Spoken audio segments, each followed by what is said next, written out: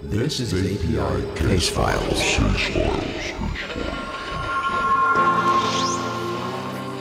Hear this message. Tune this channel.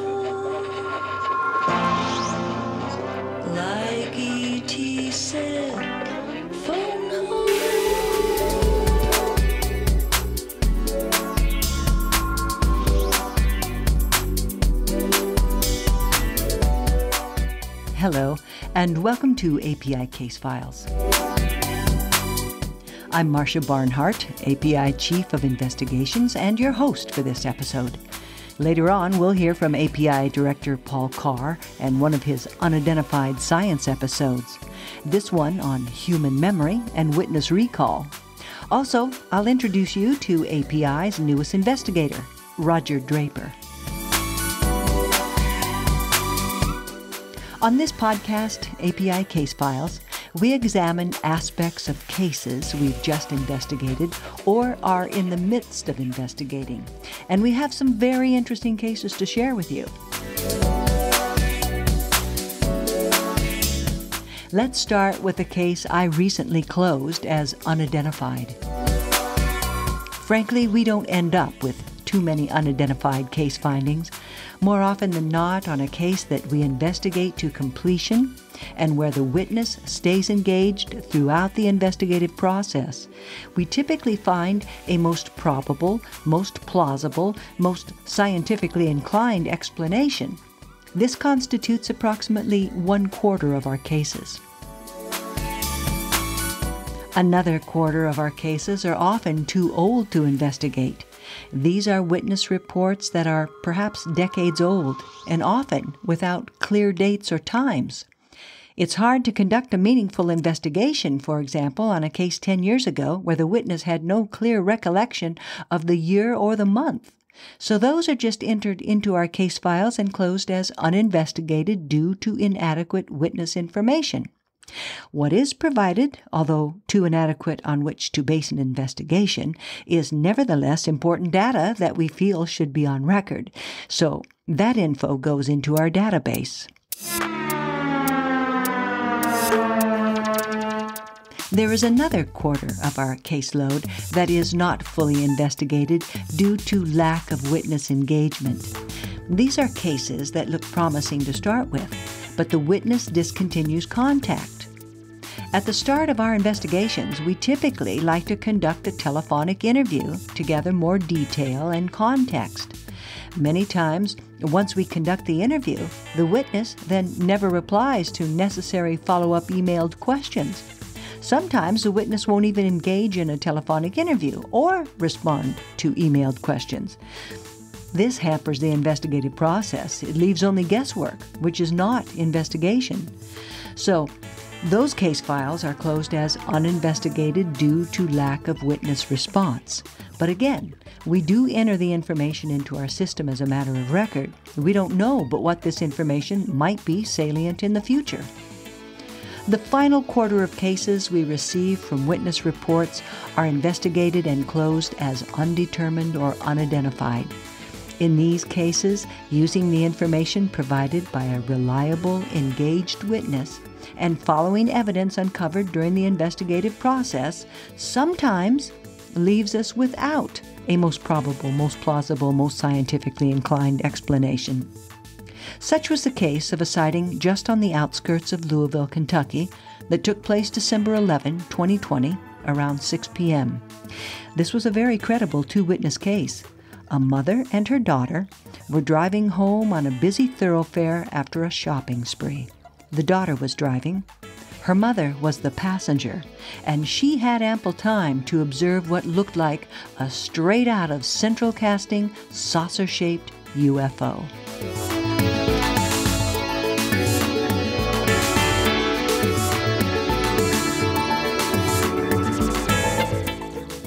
we were going down Shelbyville Road, and the traffic was, you know, I mean, not at a standstill or anything, but it was just a little bit slower.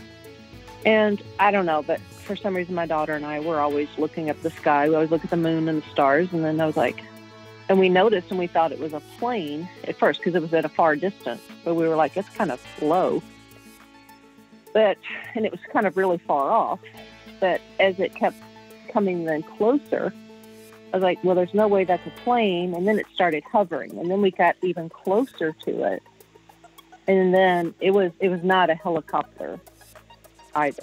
I mean, it was like a round disc. And it had little white lights all the way around it and it had a red light on the top. My daughter was driving, so I got to look at it, you know, a little bit more than she did. But and then it just it just stood. It just like hovered. It wasn't moving at all. And it wasn't that far up above the tree line. I mean, you could see it plain.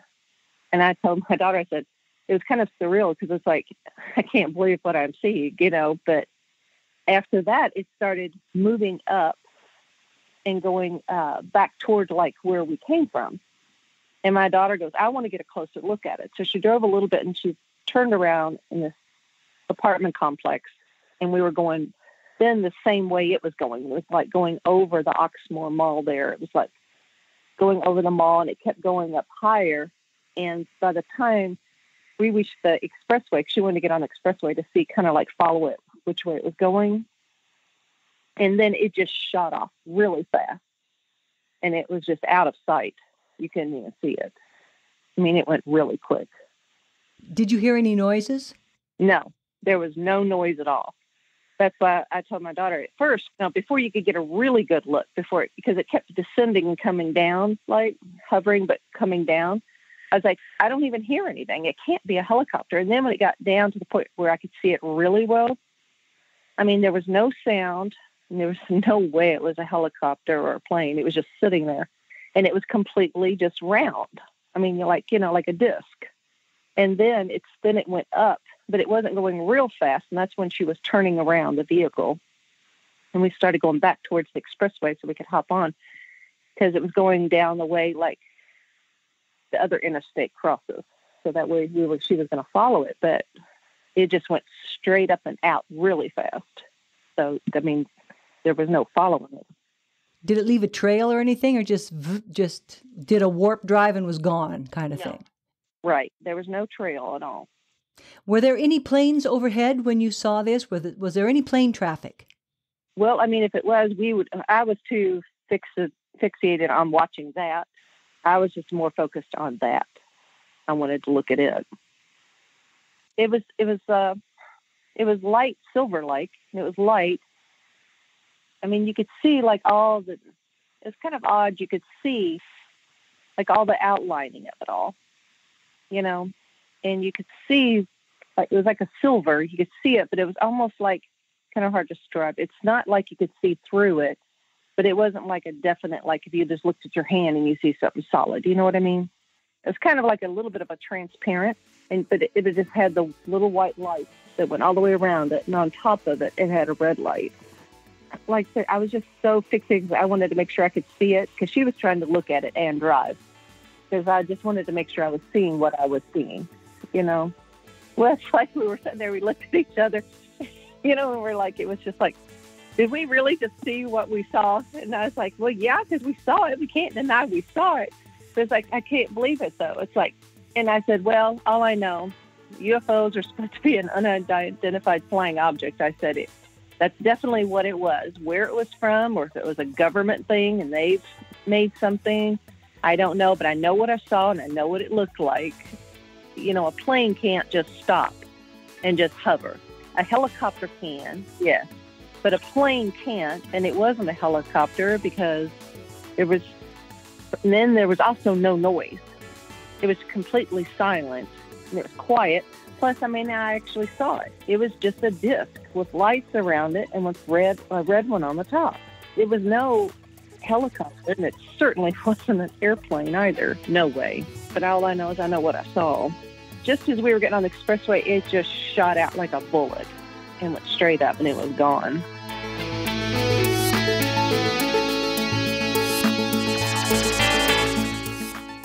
This case, 20 045, that took place December 11, 2020, near Louisville, was closed as unidentified.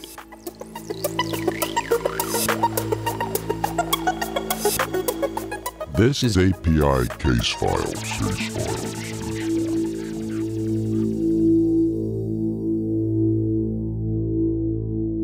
Next up is a case API Director Paul Carr is investigating. This was a two witness case in Pueblo, Colorado. It took place May 13, 2021, at a campground in Pueblo State Park. Two campers were enjoying time by their cozy campfire. It was dusk, and they had just earlier engaged in a meditation practice that left them relaxed and open. The campers were stargazing and watched a few satellites pass over them in the clear sky above. But starting at around 8 p.m. and continuing into the early morning hours, the campers observed dozens of unidentified lights all over the sky that put on quite a show. Witness 1, the man who filed his report with API, provided this account.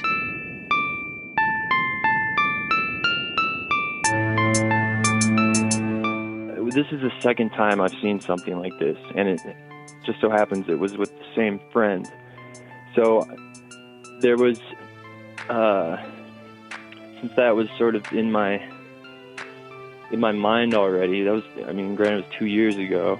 It was pretty quickly that I was catching on to what I was observing, and what it was was light sources moving suddenly in various directions uh, variable brightness uh, at various altitudes. And it's difficult for me to de- describe specifically because there were so many at once, but it was typically something that looked like two orb like shapes, like red and green in color, usually with a hue around them of light. And the way that they would move would be like as if you uh, slid a, a salt shaker across the table, like really quickly from one spot to another, and then sudden, suddenly stopping. But uh, the the thing that was well, so we're just seeing this, and it's like, do you see this? Yeah, and I'm just taking it in. They weren't producing any sound.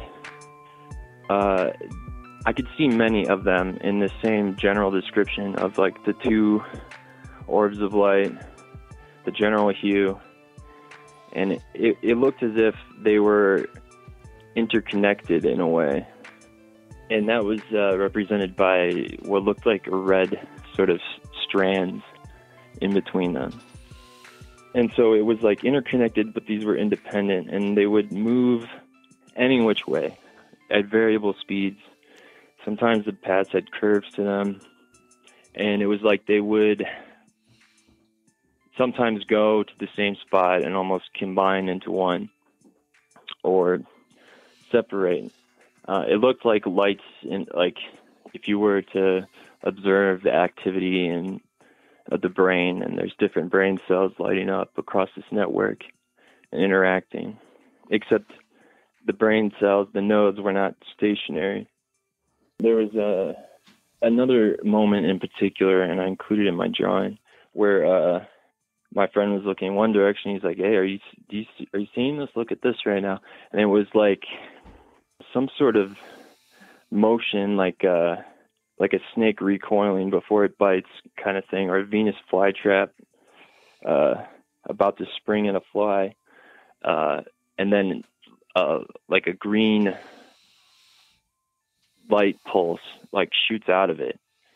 It was like a hor. It almost looked like a, a rectangle of light, and I, I describe it like a laser light because it's like unidirectional, one color of light.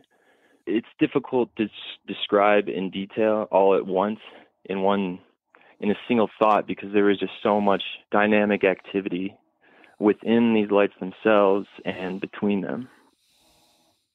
And uh, the duration of this was all through the night. So I didn't see like a metallic craft or anything like that specific, but the the nature of these lights was not like anything that I'm familiar with or could attribute to any sort of aircraft. And then at one point, uh, a military jet flew through, and it was just uh, extremely obvious that it was a military jet just by the how loud it was, uh, the way it disturbed the air around it. It was very obtrusive to the whole scene. Uh, when I took the video, at that point, I was seeing so many at once. I uh, I just decided to record. I'm glad I had the wherewithal to attempt to do that. Uh, I didn't really think I would pick anything up, but I just made sure to hold as still as I could with the hopes of picking something up. And uh, I was surprised to find that I did. An interesting moment I had was um, when. Now it, it's it's tricky to describe because there's there's almost an impression that the the meditation that we did, uh, and you know this just sits in the back of my mind, and when I think about it, that the meditation almost tuned us in in a way to be able to observe these. It's almost paradoxical in a way, in a way, trying to describe it and attribute familiar characteristics to it. But I, I'm, I'm thinking when I'm observing this, it's like there's no, I can't. There's not exactly like a, a, a language for some of these things or how to describe it. That's why I'm like dynamic lights and these motions. Uh, and like I said, I felt very connected, uh, particularly with the earth, and I felt a lot of compassion and and love for the earth and all beings on it. Quite frankly, it was sort of like a realization path I was going down. As I'm sort of as I'm kind of analyzing the the state of things as I see it in this connected feeling. You may have to humor me here, but as I'm having this thought process, I observed a light um, come down onto the lake in front of me, and this must have been at least about a football field away from me, maybe two football fields. When I saw it come down, it was like it was like it was green, the light. It was it was lit up like a neon sign though like that the outline of it. Um, it was it looked like school bus size, maybe submarine size, and it was approximately the shape of a submarine or a cigar type type shape. And uh, it was the whole outline of it was this green light, and then it just sort of drifted off into out of view. That gave me the impression that it was some sort of interaction. My thinking in that moment was basically like, yeah, I, I see you, I see you there, and it's just when I'm the, there's just the number of it at a moment. I'm like, what is this? Are we are we being invaded right now? And you know, it's not coming from fear that question. And then you know, it's like if if that was the case, then you know what it doesn't make a difference at this moment because clearly the technology is more sophisticated than anything that we have because I don't I don't know anything that can defy gravity in the way that these lights appeared to be doing.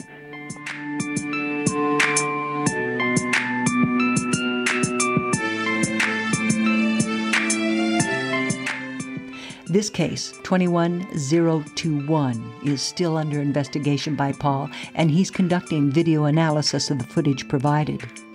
Interestingly, the witness description of a large neon green cigar or tubed shaped craft dovetails right into a case I'm currently investigating in central Ohio. There, two witnesses experienced a large, fast moving neon green cigar shaped craft zip overhead their car at treetop level, make a hard left hand turn in front of them, and then another immediate hard left hand turn and shoot away. The speed and movements of this craft so far defy explanation. This case in Ohio occurred May 15, 2021, two days after the Colorado witness saw a neon green cigar shaped craft. Now, two days after the Ohio sighting, we have a case that took place in Caldwell, Idaho on May 17, 2021. This was around 10:30 at night. The experience completely unnerved the witness, but he was able to provide compelling video footage of the encounter he provided this narrative of his experience.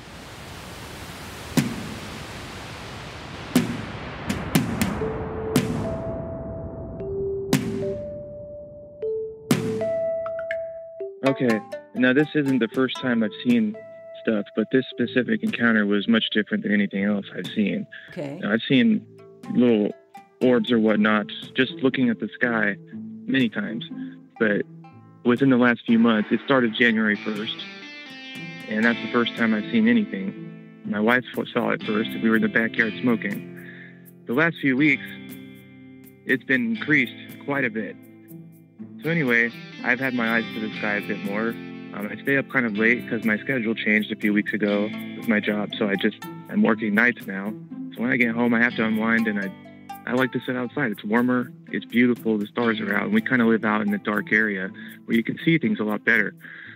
So it's really nice to look up and just see everything. So I'm, I'm familiar with what stars are around me, and I take a great interest in, you know, looking at the sky. And I've got an app on my phone, Google Star Maps, so I know if I see something that looks funny, I just check it. And I've got flight radar as well, and I check that too. So there are some times where I look at something, oh, what's that? And, and I check it out real quick on my phone, like, oh, okay, now I know, you know. So I see something behind my house, quite a way off in the distance, that looks different. At first, I think, okay, it's just a satellite. I've seen those plenty of times crossing over uh, Caldwell by me and, and heading probably towards the Boise Mountains a bit. Um, but this definitely was not because those are much smaller. And you can really tell because they travel in a pretty linear fashion. At any rate, so I stand up and I start backing up a little. So there's a cloud above my house. And as it's coming towards this little cloud, I'm expecting to see it go on the other side, but it does not. And then I'm like, okay, that's odd. So I back up from my house a bit into the the driveway kind of and uh, so I can see below the top of the house, below the cloud. And that's when I see it just sitting there below the cloud. I'm like, well, that's very unusual. And as I'm looking at it, it starts to move upwards back through the cloud and above the cloud. And that's when I started recording because I was like, this is not, I've never seen anything like this. So I'm very excited at first, as you can tell in the video. Um, and it's, it's, it's very neat. The second time I've really seen anything and I got on camera. And then as I'm watching it, it goes up through the cloud and then it starts to move back towards the west. Except this time it's heading more towards my direction than in the direction that it came in. And as it gets closer, I start to feel more like nervous. And I'm sure it's because of the unknown or whatnot, but the fear starts to grow exponentially as it gets closer to me. And I'm recording this because it's real. And I'm like, what in the world? Now, this is like an orangish orb glow, like a light, yes. And as it gets closer, I start feeling more and more fearful. And I have a, in my front patio, a little awning before you get to the door. And as it gets closer, it feels like it's almost purposely making its way above me to make a point almost. But the it just felt like in that moment, like it was trying to prove I'm bigger than you, or I know, you know, it just it, this feeling, it was really overwhelming. And as it came right directly above me, still the same height in the sky, um, I decided I wanted to move underneath the awning because I didn't feel so safe out in just the open, even if it was in front of my home. Um, it was really terrifying. Um, at any rate, as it got directly above me, the light seemed to dim down just for a minute, but I could still see the object above me. Uh, it was very difficult to keep filming right there because my hands were shaky and I was very scared. Um, and then it just started moving again. It was a brief moment that it stood there before it moved on. And as it moved on, I continued talking about it in the video. The light kind of comes back a little bit, and as it continues going away, it, it heads towards the moon. Uh, again, this is this would be west towards Oregon again. And as it's going away, I could see it much clearer. The video does not do it justice at all. But with my own eyes, I could see two very, very close together orbs that were flying together, it seemed. Where it, at first it was one. This is after it was over me. And then the two colors of it were like a red and blue, but very hazy or cloudy. And it almost seemed like they were switching the colors between each other. and I watched it until I couldn't see it anymore. It went all the way towards the moon. Probably from my view, it would be to the right of the moon, but not directly at it. But I, until I could not see it anymore. I wanted to mention um, I was making a point to send out positive thoughts with my mind. Like I didn't know if because I've been seeing these things. This is the most intense sighting I've had, but it wasn't something that was just like, oh, I saw this thing. It was a whole experience that really shook me. And I've settled down since, but that first night, of course, I had a very difficult time sleeping up until like maybe 4 a.m. It just, all I could think was lock all the freaking doors, you know, and I was just scared. And it, it took me probably a day, a day and a half to really feel normal again.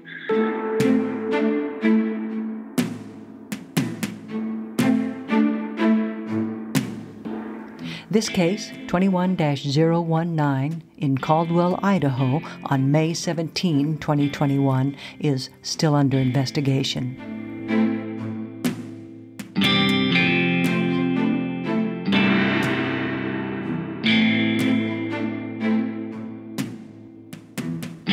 If you're interested, links to some of the visuals supplied by our witnesses can be found on our show notes page for this episode.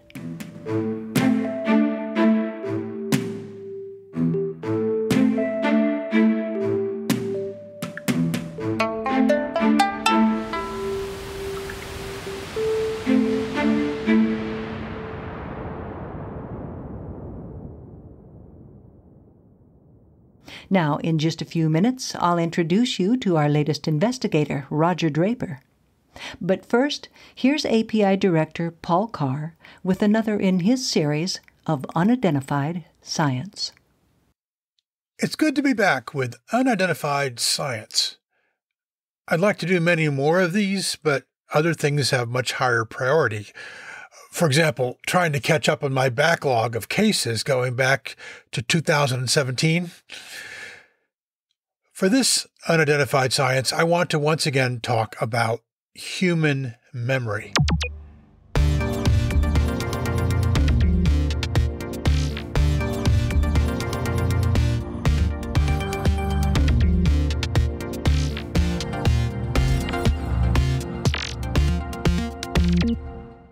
In unidentified science number three, we talked about the huge unsolved problem that eyewitness testimony is for understanding UAPs. Not only are there some well documented problems with eyewitness testimony in criminal cases, but in general, human memory is not only fragile, but malleable. It's not just that we forget things, but that we can remember things we shouldn't, and not just minor details. Researchers have shown that it is possible to plant false memories in people things that never happened.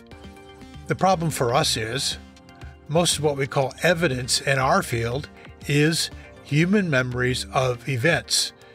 As much as we'd like it to be far less dependent on that, it's not going to happen soon, and there seems little prospect that witness memory is going to get better. Furthermore, attempts to recover memories are not only unreliable pseudoscience, but fraught with ethical issues. API's Code of Ethics prohibits it, and we strongly recommend against it. If you want to know more about the dangers of memory recovery, look up the Satanic Panic. Families were destroyed and lives ruined because of hypnosis and other memory recovery therapies. That's therapies in scare quotes, by the way.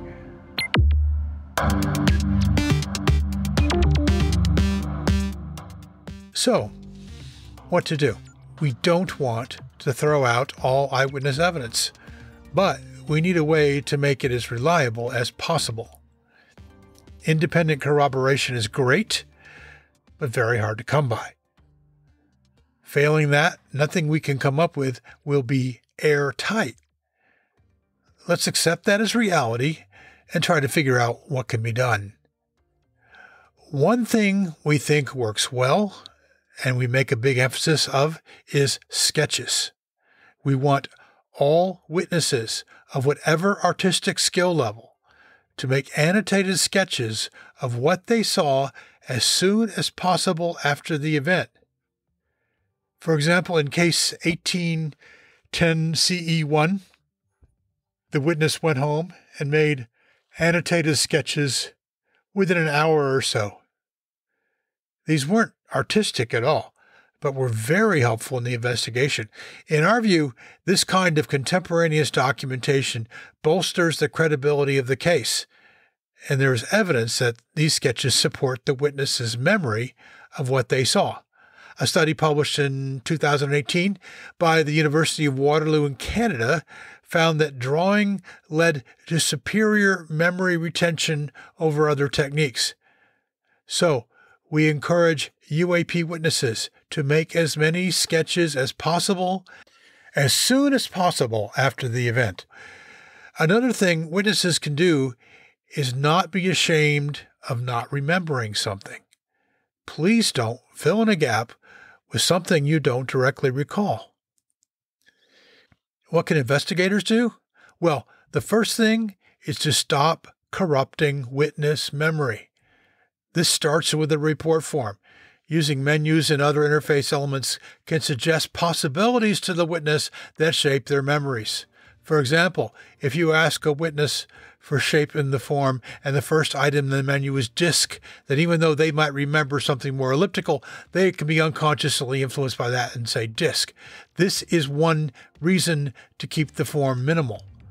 A report form only takes a few minutes to fill out, and that was on purpose. It should help prevent procrastination if you know it will only take you a few minutes.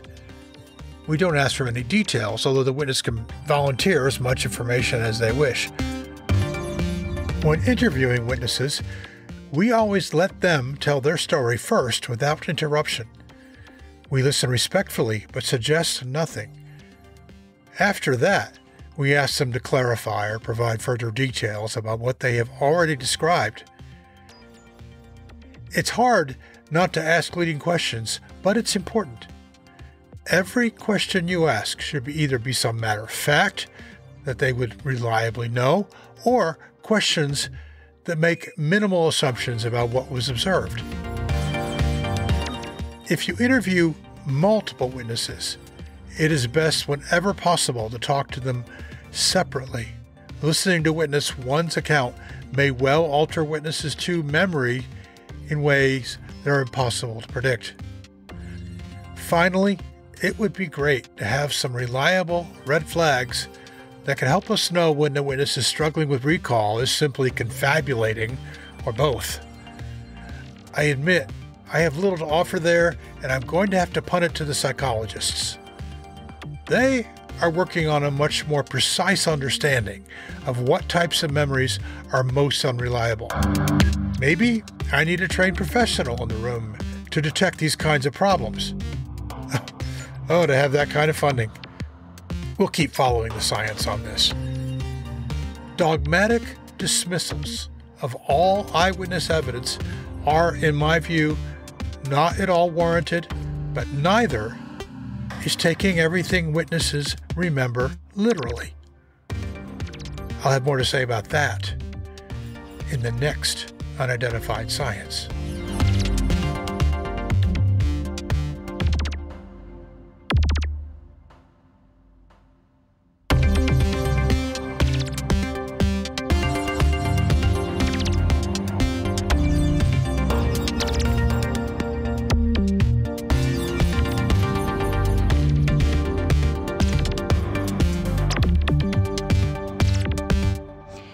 API is a very small organization. We conduct a lot of investigations with very few resources and personnel. That's why we always appreciate getting a new investigator on the team. Of course, this work is unpaid and volunteer, so one has to be dedicated to this kind of work to stick with it, and not everyone is. But we have a new investigator now that is based in California, near San Francisco. He has a background in computer science, missile science. He's done a lot of sensitive work for the U.S. government in various disciplines, and he has law enforcement experience. I talked with him at length about his background and experience, so I'd like to introduce you now to our latest investigator, Roger Draper. Um, I was actually born in a little burg called Price, Utah. but early on, I believe I was like six years old. We moved to the southeast corner of Utah, which was called Moab, Utah. After I graduated from high school, I went to uh, Snow College. Um, went to Snow College and thought I was going to become a physical educational person um, in the high schooling system. That was going to be my vocation. I changed my vocation after two years there, and then I went to University of Utah um, into computer science, and I graduated in late '69. After the university, um, I came to California. I had a brother that was out here stationed on TI and started working for the government at uh, the Naval Weapon, uh, Oakland Naval Supply Station in Oakland. And I spent uh, two years there. And then from there, I was uh, lotteried up with the draft and was put in the Army. And then to make the Army career short, I actually was discharged from the Army, stayed at, at that time, uh, I was at Fort Sill, stayed at Fort Sill and worked as a civilian training Army personnel in what I was doing. Then left there and came back to Oakland Naval Supply and worked there in the computer vendetta and then later on to Naval Weapons Station. So I ended up working for DOD for 28 years. I worked with the missile systems. I worked in uh, quality control, and then I worked in public affairs. I worked in Code 05. I worked in Code 50, Code 3, Code. I worked uh, fraud, waste, and abuse, and then I did a lot of investigations and traveled around a lot uh, in pursuit of that.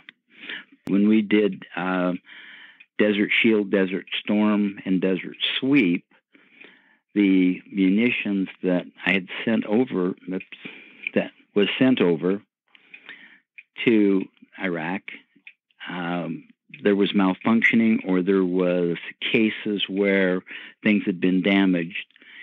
And this was in the early 90s, late 80s, early 90s. We were doing videoing.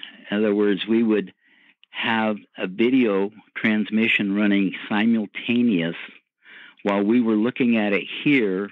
They were showing us there, and we were deciphering what needed to be corrected and how to correct it, and correcting it that way instead of all the time flying back and forth trying to see what they were talking about. Uh-huh. It's kind of a unique, a unique system that that we went through big transitions, a lot of transitions through um, softwares and, and things of that nature. Um, you have investigative background, which is a good fit for for the aerial phenomenon investigations team, and you maintained a um, private uh, investigator's license. You you gained that and maintained that. I'm a licensed private investigator in the state of California. I have been for almost 30 years at this point. When I left the government and had not much to do, one of my friends, whom was one of the commanders at the sheriff's department, asked me to go to work for them. So I was actually picked up as a paid per diem deputy. Um, I did a lot of deputy duties, but um, I was in an a detective in Danville, and then I ended my last seven years with them as a detective in the uh, main office in Martinez. Did you have an interest in the UFO phenomenon or, or anything of that since a child? When I was growing up in Moab, I had an incident incident with another friend of mine. We were down in La Sal, uh, south of Moab, down in the Red Rocks and we witnessed a UFO land. We watched it.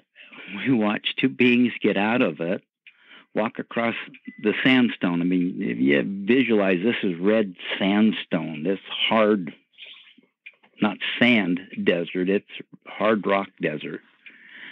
and kind of in amazement watch this, uh, which at the time seemed like forever. In amazement, and until it finally flew away. We only talked to, I think we talked to his uncle about it.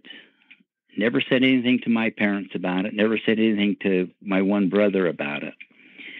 And then two years later, we had played football in, I'm trying to think, I think it was Grand Junction at the time. So we were coming back from Grand Junction. And the bus, we saw a UFO, something we couldn't identify. Didn't look like an airplane, stayed close in proximity, didn't go fast, didn't go slow. The bus, you know how fast a school bus goes. And my brother and I, my brother was there at that at that time. So we thought there was probably five, six others. The rest of the people, we were trying to get them to look. Nobody would look. It's like you're full of you know what. So in my high school, I'd already encountered these. I also had another friend, older, who worked for White Sands, and he was working. He was living in Moab, but working out of Green Green River, Utah.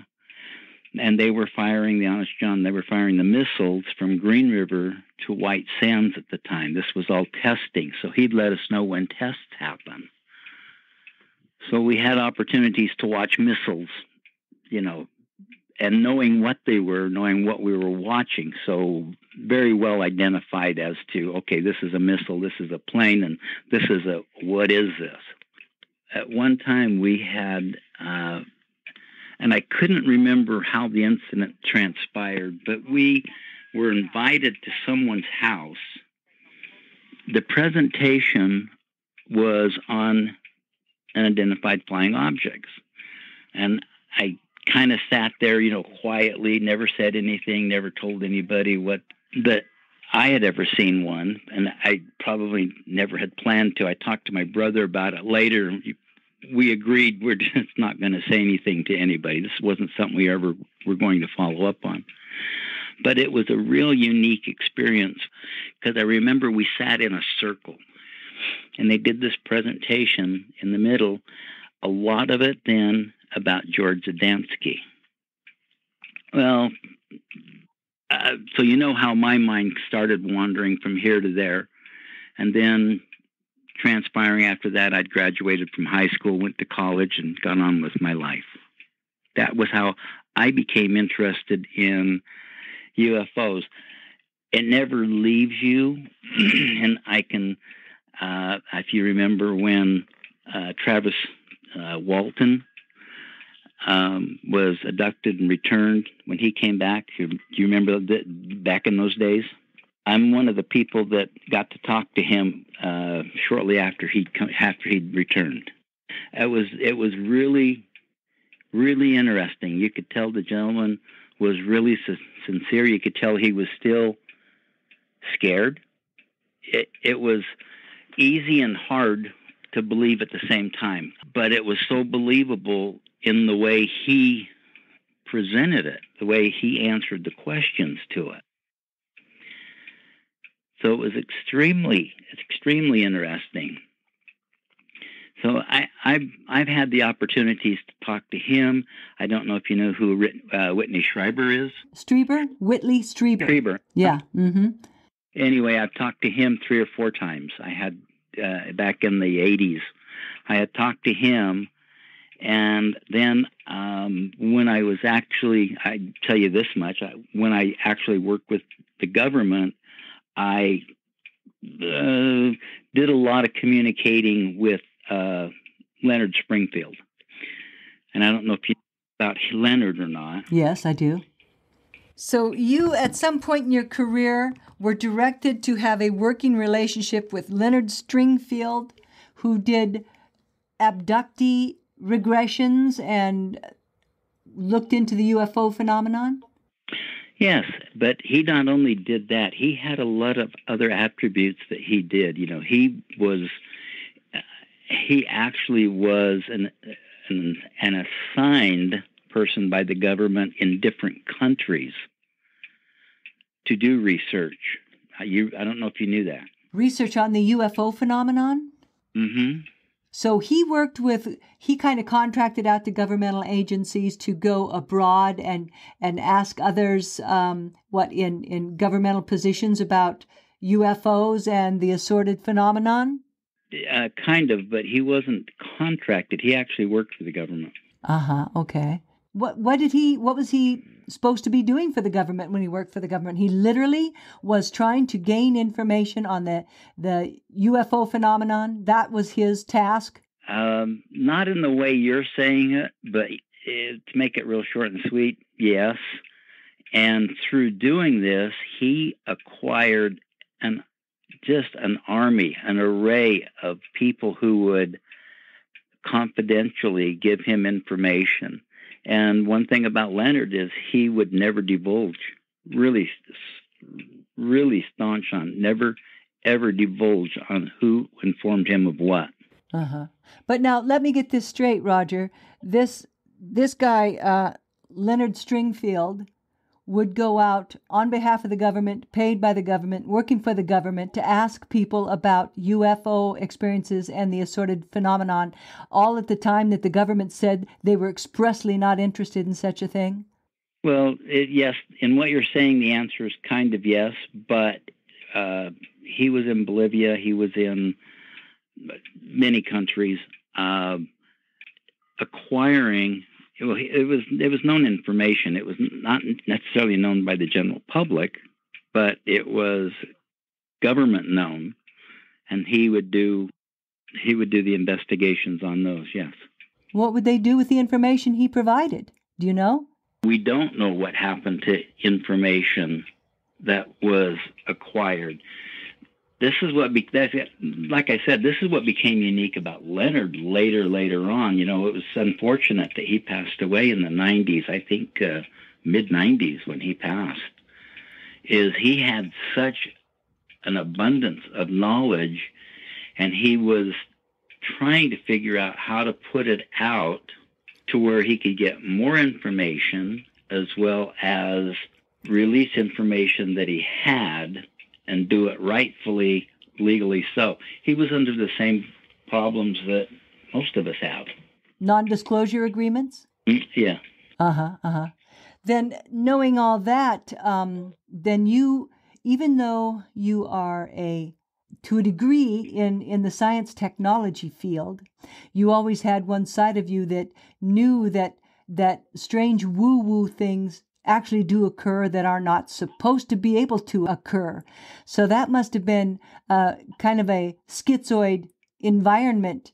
The biggest reason, let me tell you, the reason that I am interested in API is I'm more interested in finding out how to help people identify what it is they're seeing so that they don't run off the handle, get their mind wrapped up in something that isn't, and then it make a joke out of what is really real when it's real.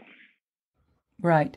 Yeah, you you want to bring the seriousness that the subject of the investigations into this phenomenon requires because there are some actual factual real strange occurrences that people experience, um, and they they can't be laughed off. Even if they have watched some show on TV, and that has flashed across their minds when they've seen something, so they transfer that information into what they saw.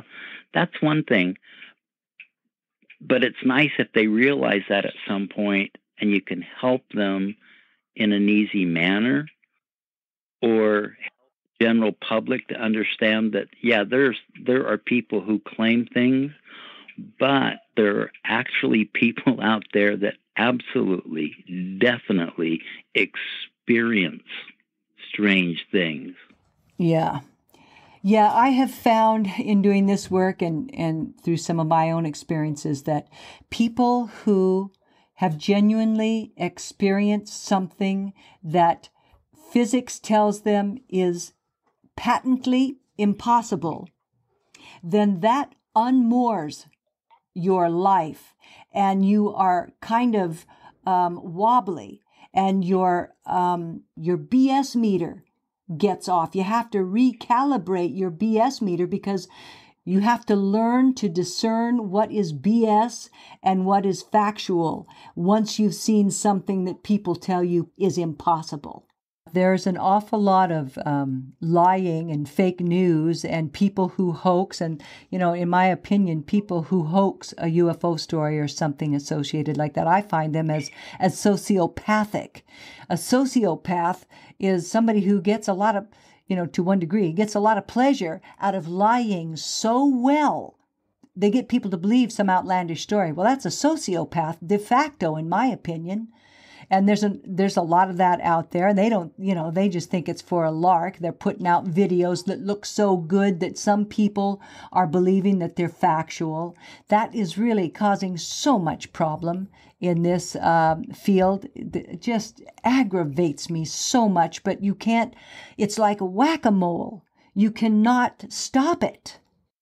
It, it's it's hard for that's one of the things it's, it's that I want, was interested in is you know well one why would somebody well obviously like you said sociopath but why would somebody want to do that to show maybe they can yeah I mean to me this is a serious topic it really is it's not anything to make light of yeah. I have friends that try to joke about it, and I just, I'm, well, I've always just turned and walked away because I know different. Right, right. But well, I've I've found um, in this day and age, with all the information that is available and and real factual information, if you are the least bit interested, you can parse out the crapola from the real truthful gems. And there's multiple books out um, that that are very very factual and give you an awful lot of information. One of them is Leslie Kean's um, UFOs. Uh, generals and pilots and government officials go on the record. I mean, that is just an excellently written, factual book that is chock full of genuine information on the phenomenon. And um, David Marler wrote a book. Uh, Triangular UFOs, an assessment of the situation. Those are factual books. They tell you an awful lot, and and it doesn't take much to read them if you're at all interested. But there's an awful lot of what is termed the willfully ignorant. They are going to make a joke and say there's absolutely nothing to the UFO phenomenon, and they have read nothing. They have done no study. They've not looked into one real case. So there's an awful lot of willful ignorant out there, and they don't want to be educated uh, for whatever reason, and they don't have to be. It doesn't matter. But you know, there's there's just no effort put in to find out about the the subject, but they'll just joke and carry on about it. I, I set those people straight as best I can, you know. Um, you can be willfully ignorant, but don't be willfully ignorant to me because I have facts and information. Right. And I actually come up with them, and, and I my my thoughts instantly are they're afraid to know what the truth is. Yeah, there's a real there's a a real truth to that. There's um, an article written recently. God, the man eludes me now did an interview with him. Oh my God, this is awful. But he was writing, he wrote a very good psychology article about the fact that, that the subject is taboo and that people, it's one of those things people just do not talk about and they will steer the conversation away from it. It is such a taboo subject. I think that's kind of falling away a little bit uh, but but it still exists somewhat. But yeah, it, the neat thing is at API we're a small organization, but but our interest is in trying to determine what a witness saw or experienced and find the most plausible, most probable, most scientifically inclined explanation if we can. And, you know, and I was telling you that we typically can. Every once in a while, we can't. If we don't have all the data, we can't. But lots of times, if we have a good amount of data, um, then we can unequivocally say that yeah this is this is the international space station or that was the starlink satellites or whatever it's a neat organization in that you can really drill down and find answers for people and an off a lot of times people are grateful to know really what they saw. To one, to know they weren't crazy. Other people saw this phenomenon, or two, you know, uh, oh, I thought that was that was such and such, but now I find out it's it's just a natural phenomenon that occurs, you know, when when crystals hit uh, the sunlight or whatever. It's an educational kind of outreach thing to a large degree, and it's very rewarding work. And I think you're going to like it a lot. And I'm glad you're on the team.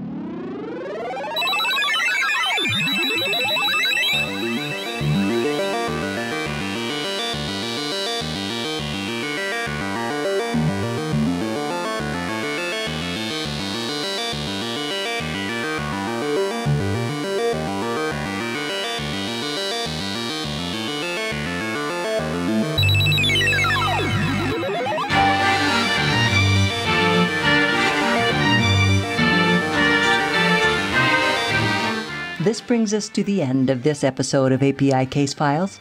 I've been your host, Marcia Barnhart, and I was joined by my colleagues, API Director Paul Carr and our newest investigator, Roger Draper.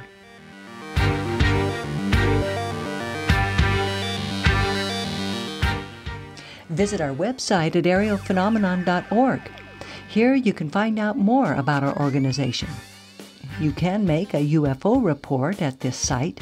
Just fill out the form provided as completely as you can, and that will generate a report.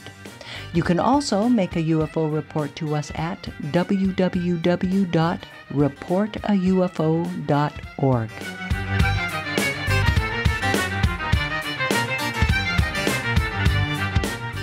This podcast is a production of Aerial Phenomenon Investigations. Links in the show notes for this episode can be found at apicasefiles.com. The spoken content of API Case Files is distributed under the Creative Commons Attribution Share Alike 4.0 license. All music heard on this podcast is licensed under Creative Commons. This free use with attribution music is deeply appreciated, and we thank the musicians and songwriters for sharing their creative spirit. Featured during this episode was music by Alien Chronicler, Renaissance, and Rain Sleep. Our intro theme music is a mashup of Alien Chronicler and Boxcat games, and DJ Spooky provides our outro theme music.